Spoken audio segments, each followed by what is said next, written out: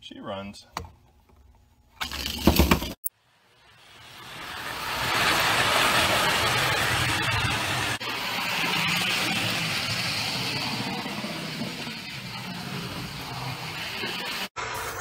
Oh boy. well, here you go. Welcome to another quick edition of my junk and stuff garage. I get a lot of junk. Anyway, recently I got a mini scale, mini scale, uh, Hudson from about 1938. So, and I think in that video I mentioned that the company that that sprung from was called Mi-Loco. Well, one of the things I needed for my Hudson was this new pilot. Well, new 80 plus year old pilot, but a new pilot nonetheless. And a good friend of mine, uh, Carrie, was generous enough to say, hey, I got one of those. And we started talking, and you know what happens when you talk. And well, in addition to the pilot, I might have just ended up with something else related related to that mini scale Hudson, but not another Hudson and not mini scale or mini scale. So, what could that be? I don't know. If you're curious, hang out and take a look. Might be fun. Atta boy.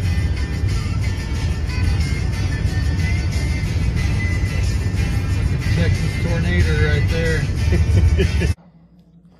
oh boy. I don't know what this could be from. It's coming from, uh, oh, it's coming from Chicago. This is what happens when you know a guy.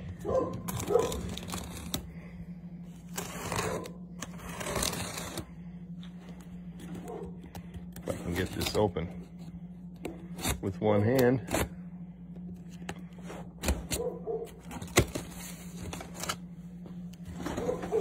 think I'm destroying some stuff.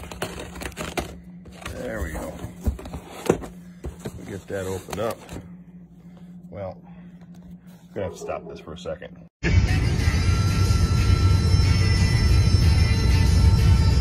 a little, get a little EHS training out of the way here. Oh, here no, she dude, comes. he's coming across the Here she comes. Oh, we gotta get up in that thing. oh, it just disappeared. So what this is, this is what happens when you, you know, you know a guy. So I got that mini scale, mini scale Hudson a couple of weeks back and uh, had some busted parts because it was sold and by a an auction place and they didn't back it right and so they broke it. So anyway, I know this guy and uh, he actually had a pilot for that. So he's going to send me this pilot. But doesn't that box seem too big to fit in a a pilot? I mean, oh, looky there. There's my front pilot, so I can I can get to working on that Hudson. But I, I don't understand. What what else could be in this box? What oh what what else? What else could be? Oh, ah, oh, what? Ah, ah, ah. Well, hold on a second. Weird. Oh, it'll, it'll come back rough. Start up over Oh, yeah, here. Here it is. Look at that. Man, man, I almost flipped the car 180 degrees. So there we have it. Saved you a few seconds unwrapping all that stuff because this I know a guy, guys, that knows how to wrap stuff so it doesn't get broken. So he's helping me out by providing me this for my Hudson. And I asked him about a few other things and he says, well, you know, I got a duplicate Mi-Loco K5. And, you know, about 37 seconds later, he's saying, well, I can send it to you for, you know, a few coins. And I pretty much said, well, I like that. Wrap her up. So thanks, Carrie. Outstanding. Very much appreciated. An excellent I know a guy guy.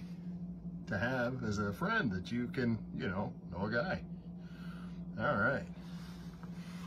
So, so there's the quick opening. Nothing done. So, all right, well, I'll stop that and move it somewhere else.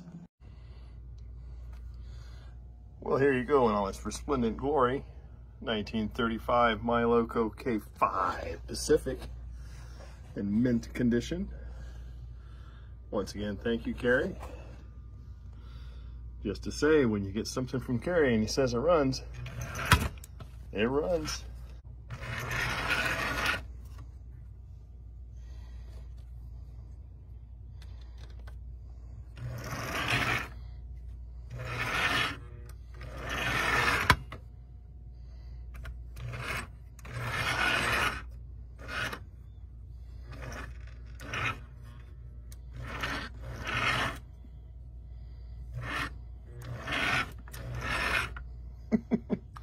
Ah, that's fun.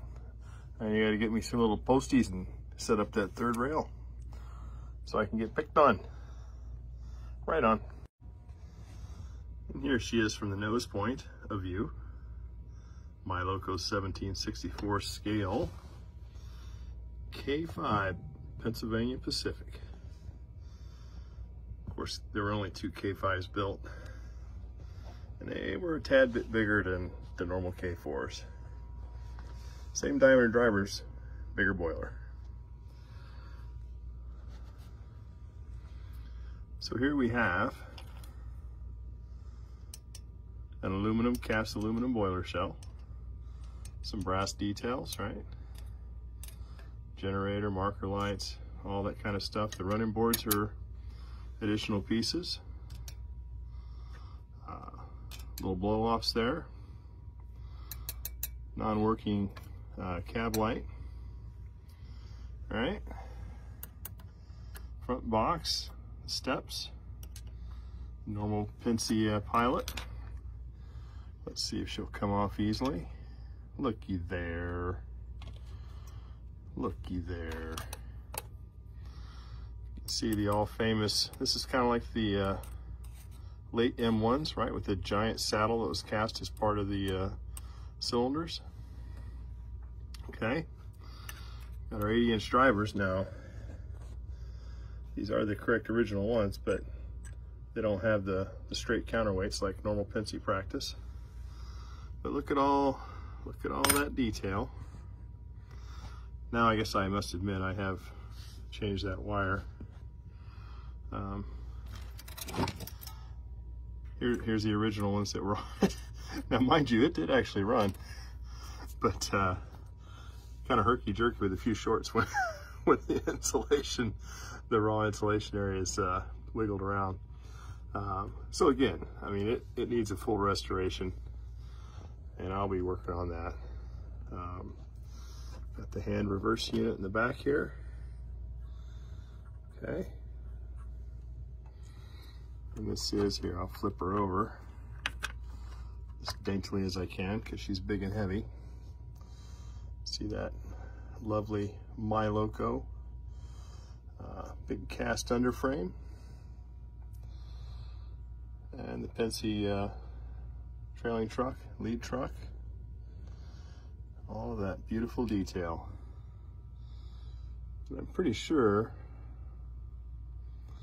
the Pennsy K4 frame, while maybe similar to the Hudson frame, is different because it has, if nothing else, a different uh, tail, you know, drawbar section of the cab, and it has those little outriggers for the uh, trailing truck springs for the uh, single axle Pennsy trailing truck. Um, but other than that, she looks to be in pretty good shape. Um, most certainly something that I can restore and be very happy to uh, add to the collection.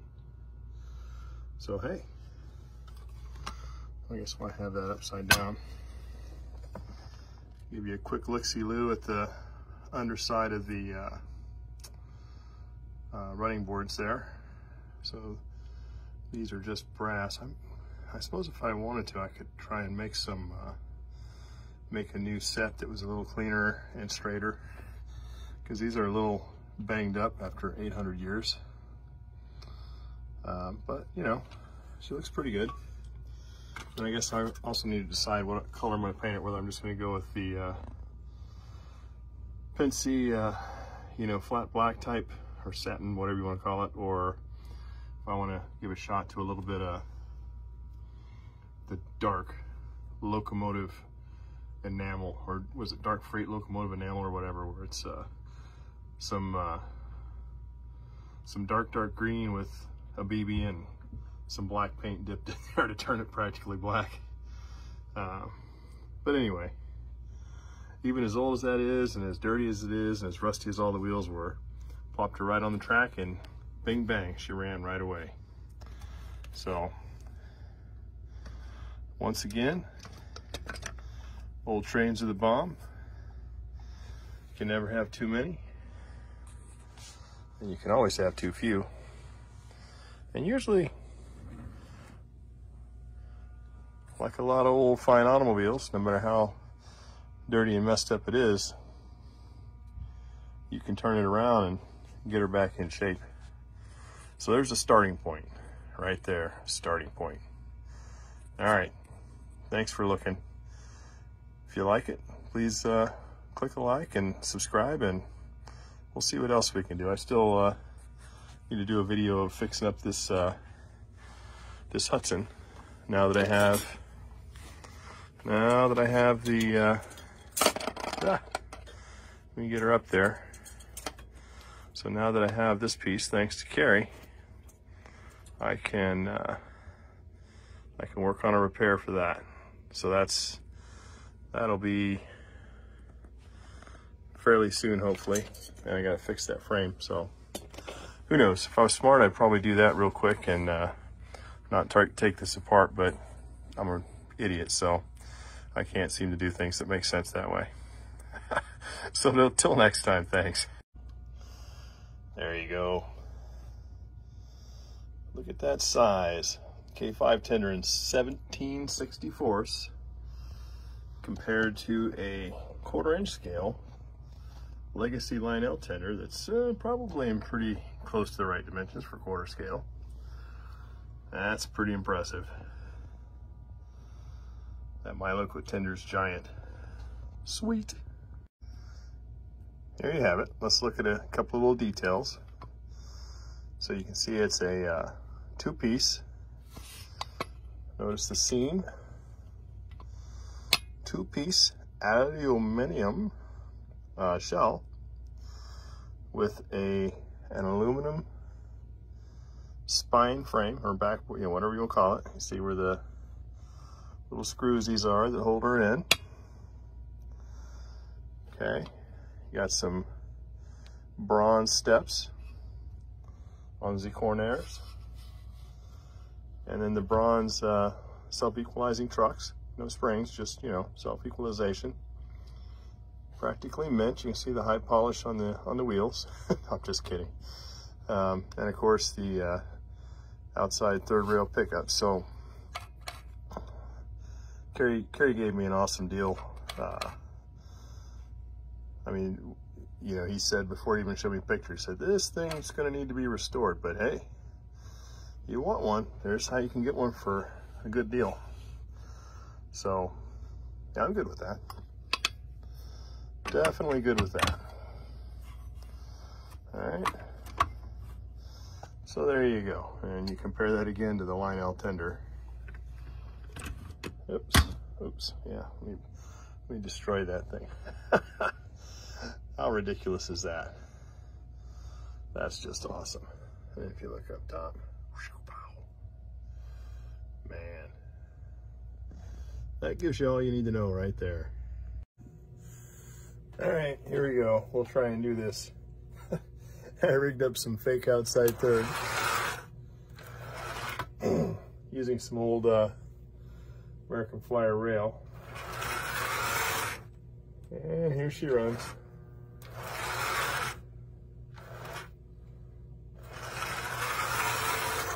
Oh boy. Get a little carried away there.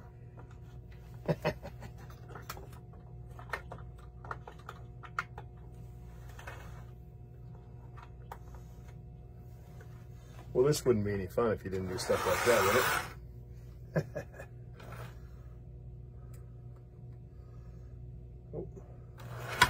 Oops. Oh, gotta get my rail heights right. Get her back up there. Having too much fun. I'm getting a little out of control. All right, enough. Enough, enough. You get the picture. So there you have it. A quickie, a quickie on a 1935-ish, 1764 scale. Mi-Loco K5, Pennsylvania Pacific.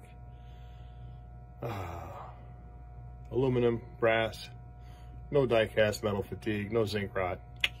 I hate it when that happens. Cast iron drivers. And as Kerry likes to say, and I agree with him, all the good stuff. Open frame motor, hand reverse, outside third rail.